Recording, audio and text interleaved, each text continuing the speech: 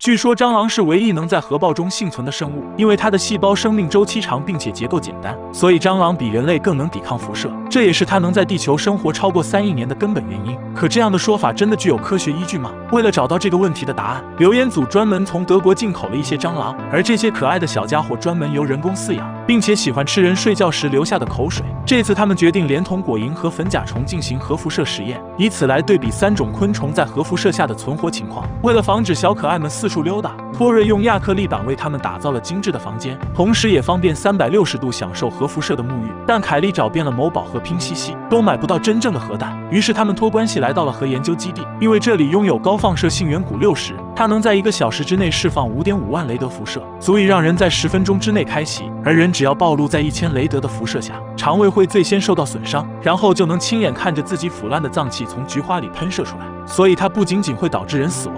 而且还会死得很有艺术性。眼前这个设备就是辐射释放装置，当机器启动之后，辐射源会上升至小孔并释放射线。本次实验，他们将用不同强度的辐射对昆虫进行照射，而首次测试的辐射量为一千雷德。下面，托瑞将三种昆虫分别放在了照射位置，然后所有人躲在了隔离室。专家启动机器，开始一千雷德的辐射实验。等照射结束并确认安全之后，托瑞取出了所有昆虫。可让人惊讶的是，三种虫子不但都没有死亡，而且还活蹦乱跳。但考虑到辐射破坏的是细胞，威力并不会立刻显现，于是他们决定将昆虫好好伺候并观察三十天。接下来又进行了第二次实验，并且这次的辐射量增加至了一万雷德。由于辐射强度的影响，这次摄像机都出现了干扰。可当实验结束之后，他们依然发现所有昆虫都还活着。显然，这样的强度还不能导致他们当场开洗。为了得到能让昆虫立即致死的辐射量，他们再次进行了第三轮实验，而这次的辐射强度增加到了十万雷德，这已经达到了人类致死剂量的一百倍。那么，蟑螂是否还能幸存下来呢？然而，当照射完成之后，他们发现这次蟑螂几乎已经死光，但其他两种昆虫的情况相对较好。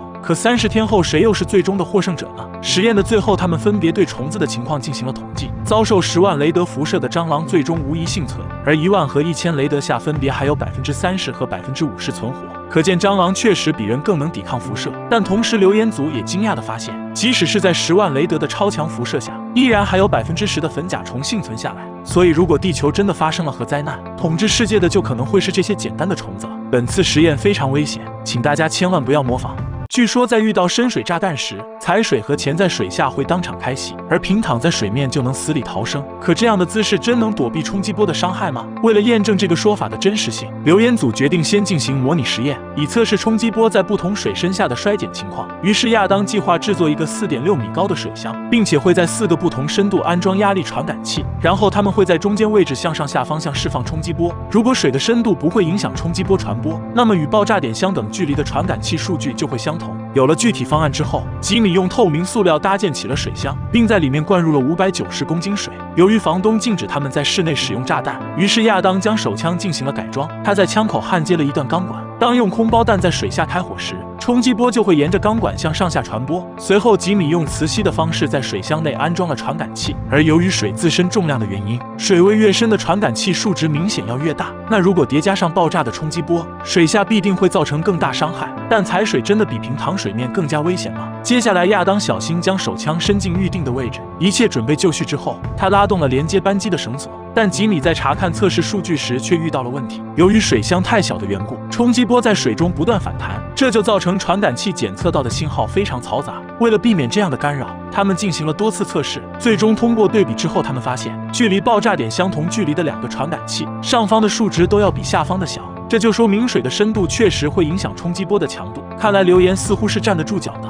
但在现实中的开放水域测试结果又会不会不一样呢？下面，亚当和吉米偷偷来到邻居家的鱼塘边，并决定瞒着邻居用四点五公斤 TNT 进行深水爆炸实验，看在距离爆炸点不同距离下冲击波的大小情况。于是，他们准备在浮杆上固定五个压力传感器，而为了确定传感器的入水深度，亚当亲自跳进了池塘，然后分别在不同姿势下测量胸腔到水面的距离。因为水下爆炸冲击波造成的伤害主要在胸腔，当亚当平躺在水面时。他的胸腔入水深度为十五厘米，并且踩水时的深度达到了六十厘米。除此之外的三个传感器分别在水面以及潜水位置。同时，为了对比数据的可靠性，他们分别会在不同距离的三个位置引爆炸药。而首次测试的爆炸距离为四十六米。当四点五公斤 TNT 被打包好后，安全专家将炸药放入了四点六米深的水中。随后，吉米在防爆玻璃后按下了引爆按钮，伴随着大地的一阵颤抖。水面激起了巨大的浪花，紧接着他们又将爆炸距离调整至二十一米。第二次爆炸效果同样非常精彩，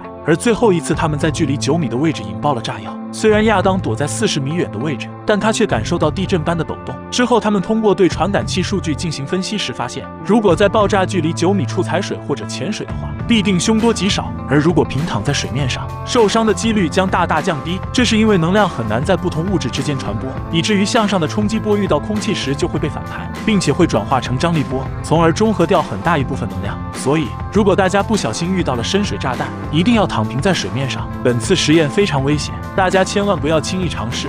据说火箭弹爆炸能将汽车掀翻，并且在很多电影中都有这样的镜头。小小的火箭弹真的能让数吨重的汽车腾空而起吗？为了验证这个说法，刘彦祖来到了爆炸试验场，并决定用借来的全新汽车进行实验。然后托瑞找粉丝要了几支火箭弹，而火箭弹是用来击穿装甲的锥形弹药，它能轻松击穿十五厘米厚的钢板。那它又能否掀翻一辆汽车呢？在专家的帮助下，火箭弹被固定在发射支架上，然后所有人员躲进了地下掩体内。In three, two, one.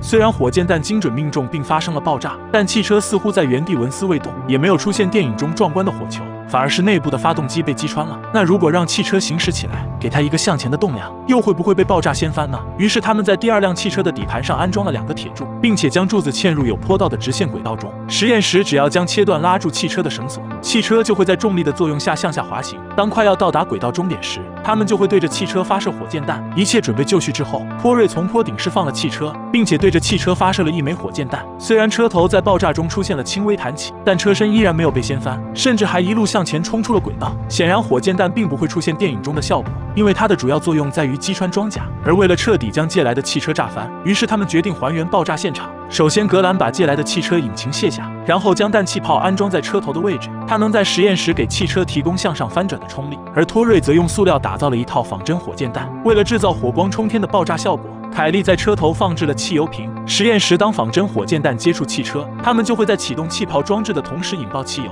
一切准备就绪之后，托瑞向汽车发射了仿真火箭弹。可当击中汽车时，却只发生了爆燃，因为格兰设计的氮气炮出现了故障，导致白白烧毁了一辆汽车。之后，他们改进了气泡装置，并安装在导演新买的 SUV 上。重新做好准备之后，他们再次发射了仿真火箭弹。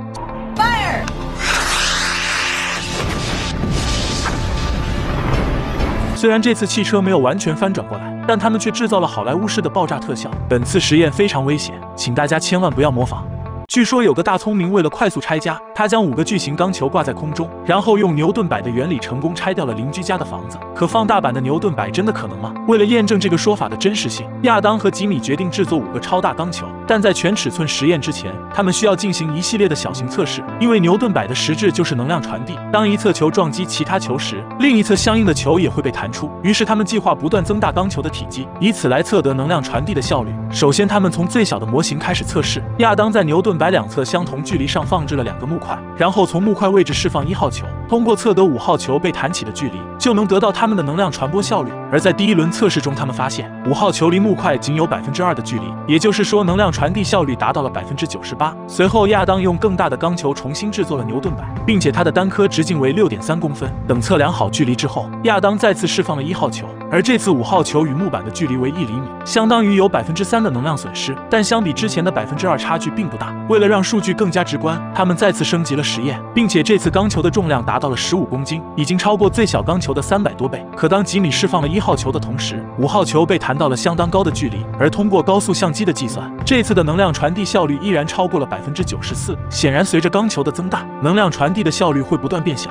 但下降幅度并不是很大，所以理论上制造出巨型牛顿摆还是有可能的。可如何才能做出超级大的摆球呢？吉米认为往空心钢球中灌入水泥。就能轻松制作出大百球。于是亚当将五个空心钢球钻开，然后分别朝里面灌入等量的水泥。等它们完全凝固之后，亚当继续开始了测试。可这次钢球如同探索哥一样，两三下就完事。这是因为里面的水泥吸收了大部分能量，从而导致五号球几乎没有被弹起。可究竟如何制作钢球才能减少能量损失呢？这时吉米再次想到了馊主意，他们将浮标从中间切开，然后再拼接上八公分厚的硬化钢板，并且里面焊上钢筋支架进行固定，同时往空心部分填充满水泥，这样五个超级级大摆球就做好了。可单颗重达一吨的钢球真能成功弹起来吗？之后他们来到核潜艇维修中心。在起重机的帮助下，五个钢球分别被悬挂在钢架上。等他们调整好水平位置之后，亚当拉下了一号球的释放绳索。而令人大跌眼镜的是，五号球几乎没有被弹起来，反而上方的钢架发生了移动。显然，大部分能量转移到了钢架上。于是他们将钢架进行固定，同时也把一号球拉到最高位置，以此来获得更大能量。然而，当钢球再次被释放时，尽管产生了超过一千千帕的撞击力，但依然没能让五号球摆动起来。考虑到单钢缆结构可能导致着力点发生偏移，最终他们改用 V 型双钢缆再次进行了测试。虽然这次能量传递效率大大增强，可钢球还是没两下就歇菜了。之后他们通过计算得到，巨型钢球的能量传递效率仅仅只有百分之四十五，相比桌面牛顿摆的百分之九十多，差距太大。这主要是因为随着球体越来越大，各个部分的能量损失很难控制。尽管理论上有这个可能，但现实中却很难实现。